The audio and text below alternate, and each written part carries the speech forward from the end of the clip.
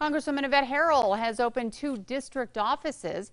One is located in Albuquerque on North, I'm sorry, it's located in Roswell on North Pennsylvania Street, the other in Las Cruces. Mobile office hours are also planned throughout her district.